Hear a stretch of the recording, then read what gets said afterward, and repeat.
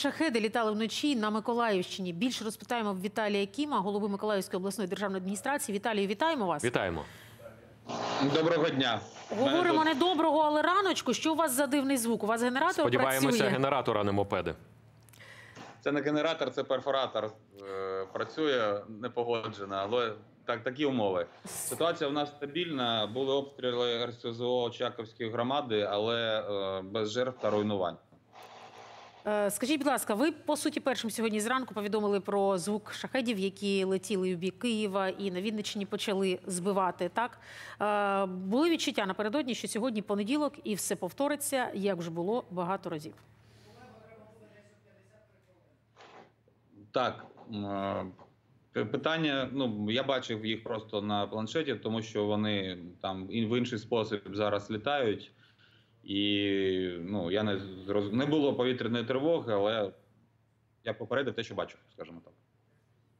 А що ви маєте на увазі е, під е, іншим способом польоту? Е, Вони якось переналаштовуються власне в місцях запусків. Вони вигадали якусь нову тактику. І наскільки це сильно впливає на ускладнює роботу наших ППО? Я чому питаю? Тому що ну судячи по Миколаївщині, е, 10 було збито, так 35 було запущено над Миколаївщиною. 10 пі- на південному напрямку 10 було збито. На південному так. Е, Ну не буду розкривати, але моє враження, що вони намагаються вирахувати наше ППО та облітати ті точки, які знають.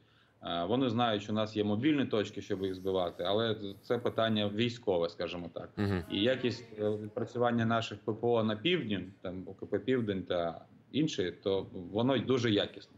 Тому ми їх бачимо, але знаю, що зараз певна кількість з них вже не можна назвати мопедами, не знаю, шуршунчиками можна назвати, бо їх не чути. Вони зараз йдуть з глушниками, деякі з них. Пане Віталію, хотіла запитати про те безпосередньо, яка гуманітарна ситуація в області, тому що, скажімо, для Снігурівської громади знайшла інформацію, волонтери впродовж двох тижнів будуть готувати їжу. Тобто ситуація в окремих громадах на Миколаївщині вона така, що люди навіть не здатні самі собі готувати і ні з чого.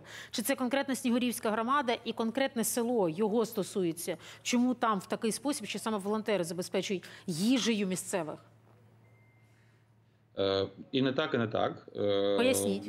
гаря- Гаряча їжа від волонтерів це додаткова, скажімо, послуга як підтримка громадян. Тобто там забезпечена і гуманітарні всі потреби, працюють магазини, включено світло, е, зв'язок, вода і все інше. І відновлю- відновились пенсії, банки, поліція, там все працює. Але через те, що люди були 9 місяців там під окупацією, майже 9 місяців, ми туди просимо волонтерів для того, щоб вони розгортали ці пункти, коли вони мають можливість, саме в тих пунктах, щоб підтримати людей. Зрозуміло, дякуємо вам. Дякуємо. Віталій Кім, голова Миколаївської обласної державної адміністрації, був з нами на прямому зв'язку.